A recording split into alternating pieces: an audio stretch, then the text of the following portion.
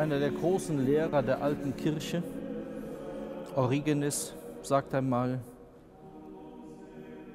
das Geheimnis des Johannes geht bis jetzt in der Welt in Erfüllung. Das Geheimnis des Johannes geht bis jetzt in der Welt in Erfüllung. Denn jeder, der an Jesus Christus glauben will, in dessen Seele kommt zuvor der Geist und die Kraft des Johannes, und dieser bereitet dem Herrn ein vollkommenes Volk.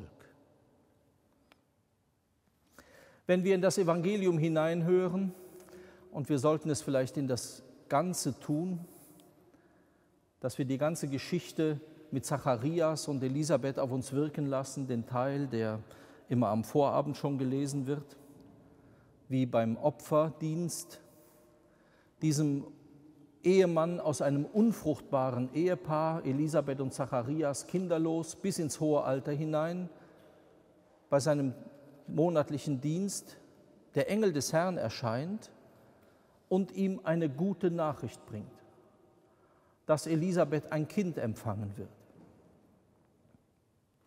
Wir können uns vorstellen, dass ein alter Mann, auch wenn der Priester am Tempel in Jerusalem ist, perplex ist auf diese Mitteilung hin.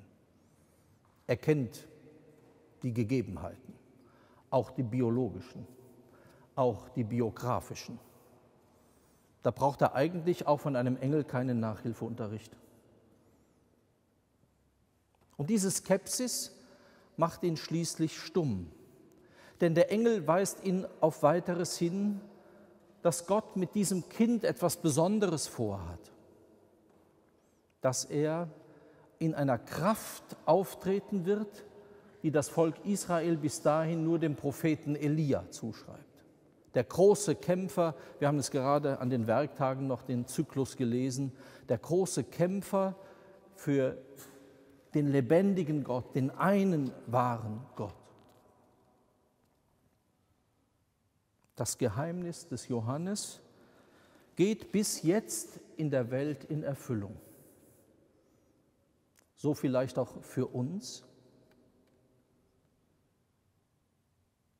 Wenn wir in der Kirche dieser Tage, und man kann das an vielen Orten sehen, selbst an ganz sozusagen eingelebten Gnadenorten kann man das schmerzhaft erfahren, wie alles einbricht, alles porös wird, wie die ehemalige Kraft scheinbar verloren geht. Was heißt dann dieses Wort des alten Lehrers der Kirche? Das Geheimnis des Johannes geht bis jetzt in Erfüllung. Gilt es etwa auch für uns? In all unserer Unfruchtbarkeit, das müssen wir jetzt nicht unbedingt biologisch verstehen. Aber geistlich ist es nicht so. Wir bringen doch nichts mehr zu Wege als Kirche. Ja, es stimmt. Wir haben unsere Strukturen und vor allen Dingen haben wir unser Geld hierzulande. Wir haben einen riesigen Apparat, der sich selber verwaltet, der über die Köpfe der Menschen und vor allen Dingen ihre Herzen hinweggeht, oft genug. Wir haben Aufgaben, Ämter und trotz eines sogenannten Priestermangels eigentlich immer noch genügend bezahlte, gut bezahlte Kräfte in der Kirche. Und trotzdem ist bei denen, die wirklich versuchen, geistlich hinzuschauen, das Gefühl der Unfruchtbarkeit, des Nichts zu Wege bringen, es kommt nichts heraus, vor allen Dingen nichts, was Hand und Fuß hat. Das ist nicht von der Hand zu weisen. Was heißt in einer solchen Situation das Wort des Origenes? Das Geheimnis des Johannes geht bis jetzt in der Welt in Erfüllung. Viele versuchen angesichts dieser Situation einen Schnitt zu machen und zu sagen, ja, wir, sind, wir sehen doch, wohin wir gekommen sind. Kommt da nichts bei heraus. Wir müssen irgendwie ganz neu anfangen. Wir müssen uns neu erfinden. Ist das die Botschaft des Johannes? Wenn wir auf der einen Seite sehen die Unfruchtbarkeit, die Hoffnungslosigkeit, Zweifel, der dann unmittelbar in die Sprachlosigkeit mündet. Aber wir hören doch im Evangelium von dem Neuen, das entsteht, von einer Geburt und von großer Freude, die Schrift betont es mehrmals, die durch diese Geburt ausgelöst wird. Was ist also der Geist des Johannes, der in Erfüllung geht? Wenn ich eines hier entdecken kann in diesem Schrifttext, liebe Schwestern und Brüder, wie übrigens, wenn man genau hinschaut, in allen anderen, so gibt es im Neuen Testament, wenn davon die Rede ist, nie einen Schnitt, einen Bruch und sagt so, der alte Kram, weg damit. Wir sind jetzt diejenigen, die Neues setzen.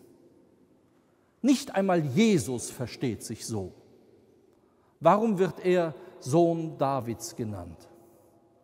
Warum heißt er Kind Israels? Um nur zwei kleine, aber bedeutende Beispiele zu bringen. Warum nennt er sich in der Tradition des Propheten Daniel Menschensohn? Doch nicht, hoppla, hier komme ich, ich bin jetzt wer ganz Neuer und ich zeige euch jetzt mal, wie das richtig geht. Ein Zacharias geht auch trotz seiner Hoffnungslosigkeit, ohne Kinder geblieben zu sein, weiterhin als Priester in den Tempel. Sonst hätte ihm gar kein Engel erscheinen können.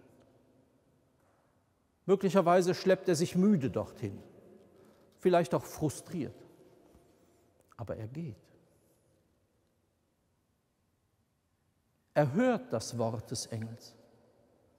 Und er hört es, indem der Engel nicht sagt, guck mal, lass mal deinen Krempel hier liegen, das ist alles nicht wichtig, was du hier im Tempel veranstaltest. Jetzt kommt so ein super Kerl und dazu brauchen wir dein Kind. Und da macht der liebe Gott sowas möglich. Nein, er spricht von der Kraft des Elia, die nächste Kontinuität, die nächste große Linie, in dem die Menschen Johannes den Täufer später wiedererkennen in seiner Klarheit, in seinem Kämpfen für die Wahrheit, auch in seiner Kompromisslosigkeit.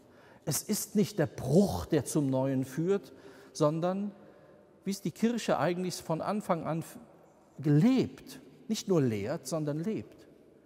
Es geht um die Gemeinschaft mit dem Anfang. Der erste Johannesbrief sagt das unnachahmlich was wir gesehen und gehört, was unsere Augen gesehen und unsere Hände angefasst haben, das verkünden wir. Und das ist der zentrale Kern kirchlichen und christlichen Lebens. Wenn ich das Wort, den Fachbegriff dazu, dazu nenne, wenn Sie gleich sagen, ach, jetzt kommt er wieder damit. Aber vielleicht verstehen wir es dann besser. Die Kirche nennt das Tradition. Das ist nicht ein alter Zopf, der trotzdem noch weiter wächst oder lange abgestorben ist und deshalb irgendwie hinter Glas aufbewahrt wird, mit bestimmten Strahlern angestrahlt wird und sagen, das müssen wir aber hochachten. Nein. Tradition, liebe Schwestern und Brüder, und das sagen uns die Evangelien an diesem Tag, dem Geburtstag Johannes des Täufers, ist etwas sehr Lebendiges. Ohne Tradition entsteht nie etwas Neues. Nur wer Gemeinschaft hat mit dem Anfang, nur wer Gemeinschaft hat mit den Spuren, die Gott in der Zeit, in dieser Welt, durch seine Schöpfung, an seinem Handeln am Volk Israel hinterlässt, nur in diesen Spuren lässt sich wirklich das Neue entdecken, leben und glauben. Johannes der Täufer wird schon vor seiner Geburt hingewiesen auf den Geist und die Kraft des Elia, den Kämpfer für den einen wahren Gott dass er Teil hat an dieser Kraft. Zacharias wird in seinem priesterlichen Dienst mit diesem Wort hingewiesen auf das Handeln Gottes, wie Gott es öfter zeigt im Alten Testament, dass Frauen wie jene Hanna unfruchtbar ist und Gott doch handelt an ihr, weil er mit diesem Kind etwas vorhat, mit jenem Samuel. Und so ist es immer wieder das Handeln Gottes, das nicht mit einem Bruch oder einem sauberen Schnitt beginnt, sondern Kontinuität zeigt. Ob wir so vom Täufer Johannes lernen, von den Umständen seiner Geburt, dass auch unsere Unfruchtbarkeit, Hoffnungslosigkeit und Sprachlosigkeit neu aufbricht, indem wir die Gemeinschaft suchen mit dem Anfang und damit Gemeinschaft suchen mit dem Handeln Gottes, mit seiner Geschichte in dieser Welt, mit seiner Geschichte mit den Menschen, seiner Geschichte mit uns, dass wir daraus neues Leben finden und Glauben lernen. Das Geheimnis des Johannes geht bis jetzt in der Welt in Erfüllung.